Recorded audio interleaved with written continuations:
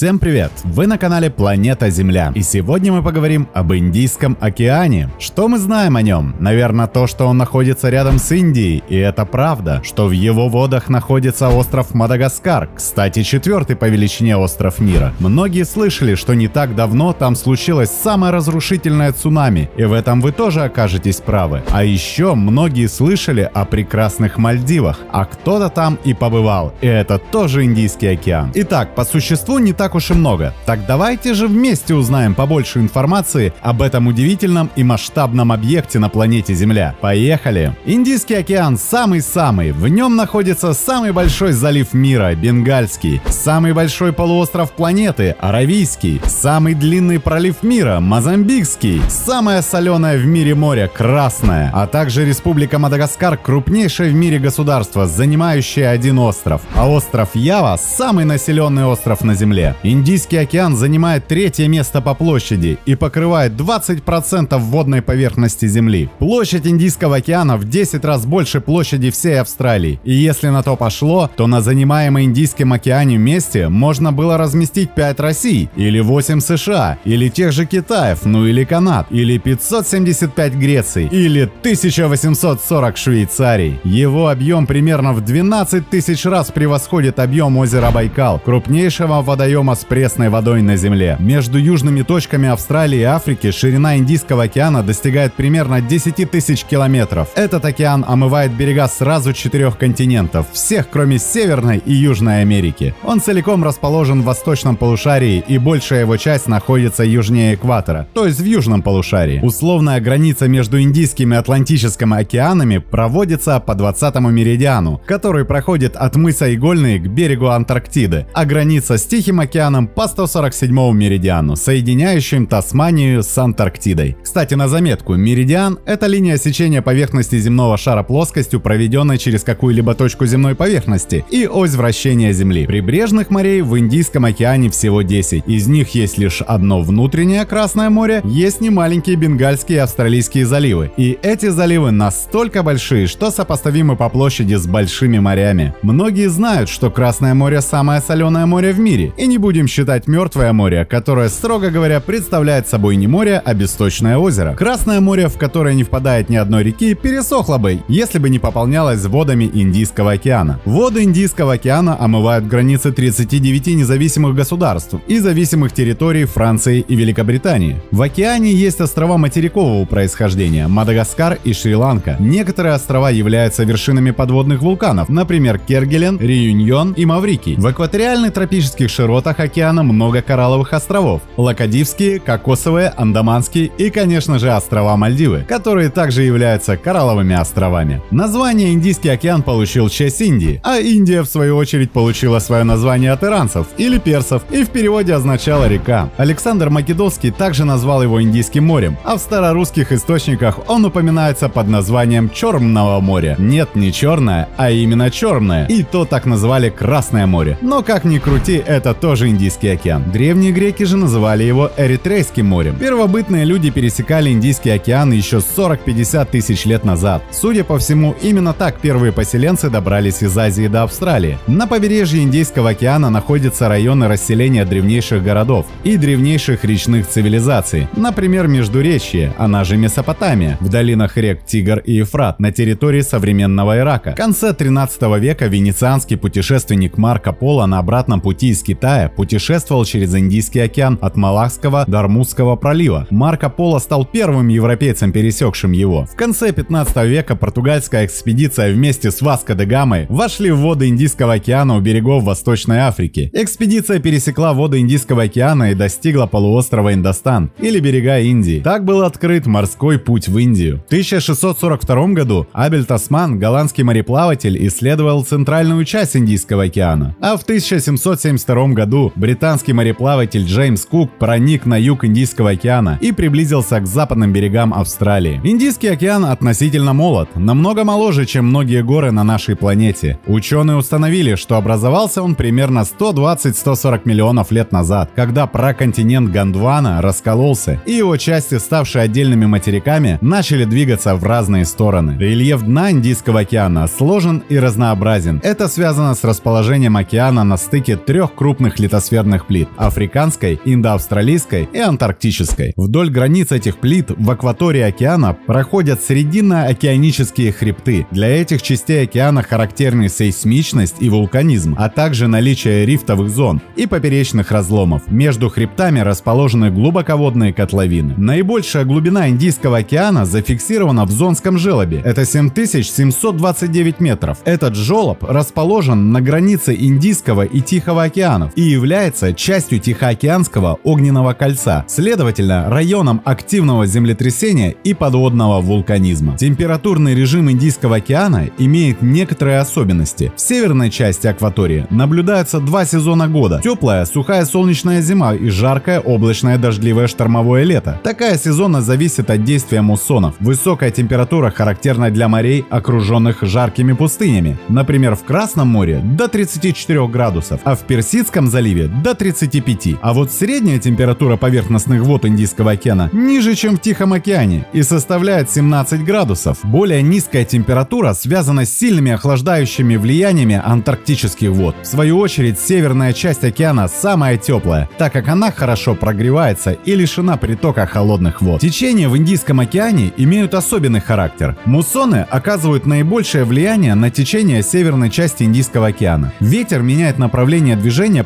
поверхностных вод по сезонам года. Северная часть Индийского океана – единственный район мирового океана со столь четкой сезонной сменой течений. В акватории океана проходит самое мощное течение нашей планеты. Это течение западных ветров. Скорость течения зависит от силы ветра и изменяется по сезонам. Максимальная скорость течения 20-30 миль в сутки и наблюдается вблизи острова Кергелен. А еще Индийский океан славится своими приливами. Высота прилива в некоторых его уголках бьет все рекорды. В среднем она составляет лишь пару-тройку метров, но возле берегов Индии, около Мумбаи, она может достигать 5-6 метров, а около Австралии, возле города Дарвин, и вовсе 7-8 метров. В Индийском океане растут бурые водоросли, самые длинные в мире. Впрочем, они встречаются много где, и их в изобилии можно найти в Саргасовом море, которое находится в Атлантическом океане. А об этом мы поговорим, когда будем рассматривать Атлантический океан. В Индийском океане, рядом с Маврикием, существует уникальный подводный водопад. Правильнее было его назвать пескопадом, так как он состоит из песка, который струится вниз по склону подводной горы. Выглядит просто невероятно. Подводный мир Индийского океана увлекательный и многообразный. Его теплые воды изобилуют большим количеством экзотических растений и животных. В водах Индийского океана среди невероятных по красоте коралловых конструкций обитает огромное количество ярко окрашенных рыбок, губок, моллюсков, рачков, крабов, червей, морских звезд, ежей, черепах, светящихся анчоусов и рыб-парусников. Встречаются здесь и опасные для человека виды – осьминоги, медузы, ядовитые морские змеи и акулы. И именно на Индийский океан приходится большая часть нападений акул на людей. Правда, все равно это случается исключительно редко, не более нескольких случаев в год. Так что, дорогие подписчики, не повышайте эту статистику, если уж вам пришлось поплавать в водах Индийского океана. В мангровых зарослях живет иглистый прыгун, рыба, способная довольно долго находиться на суше, благодаря особому строению тела. В прибрежных водах водятся сардинеллы, кефали, ставриды, морские самы. В южной части обитают белокровные рыбы. В тропических зонах можно встретить редких и необычных представителей рода сирен, дюгоний, ну и, конечно же, дельфинов и китов. В Индийском океане можно встретить самого большого ската – манту. Среди птиц наиболее распространены фрегаты и альбатросы. Среди эндемиков – райская мухоловка и пастушковая куропатка. На южном побережье Африки и Антарктиде живут пингвины. А иногда очевидцам удавалось наблюдать на океанской поверхности очень странное явление – светящиеся круги. Это явление до сих пор не изучено должным образом, но скорее всего оно вызвано колониями светящихся в темноте микроорганизмов, которые выбрали своим домом именно Индийский океан. А вы в курсе, что ученые обнаружили зарождение нового континента в Индийском океане? Французские и австралийские геологи изучили состав пород в южной части Индийского океана и выяснили, что там началось зарождение нового континента. Ученые провели исследования на островах архипелага Кергелен, который расположен в Индийском океане, недалеко от Антарктиды. Они показывают, что гранитная магма, континентальная кора, может образовываться не только в зонах субдукции, но и в центре океана. Предположительно, это и есть зарождение континентов. Авторы сформулировали гипотезу о том, что сиенитовый массив острова Кергелен – это по сути эмбрион континента, который через миллионы лет станет полноценным материком материком. И что нам остается делать? Так это немного подождать. Из интересности Индийского океана есть и такая. В Индийском океане нашли астероид-убийцу динозавров. Огромный таинственный бассейн, расположенный у берегов современной Индии, может представлять собой самый большой в истории нашей планеты кратер, образовавшийся в результате столкновения большого астероида с нашей Землей. Крупный метеорит упал в Индийский океан. Ученые из Техасского университета говорят, что если их исследование верно, то этот кратер образовался примерно 65 миллионов лет назад. И именно он, а не похожий кратер на мексиканском полуострове Юкатан, мог послужить причиной серьезного изменения климата на планете и вымирания динозавров. На сегодня стандартной теорией вымирания динозавров является изменение климата, вызванное ударом астероида по современной территории Мексики. Здесь так же, как и в Индийском океане, есть кратер, возраст которого составляет 65 миллионов лет. И получается, что по динозаврам нанесли двойной удар. Через Индийский океан проходят многочисленные транспортные пути, но в значительной части транзитные. Начинаются и заканчиваются за пределами океана. Судоходные пути Индийского океана связывают Европу и Северную Америку со странами Ближнего, Среднего и Дальнего Востока, а также Юго-Восточную Азию с Австралией. По развитию судоходства Индийский океан уступает Атлантическому и Тихому, но превосходит их по объемам перевозки нефти, так как именно Персидский залив является главным нефтеэкспортным районом мира. Здесь сосредоточен основной грузопоток нефти и нефтепродуктов,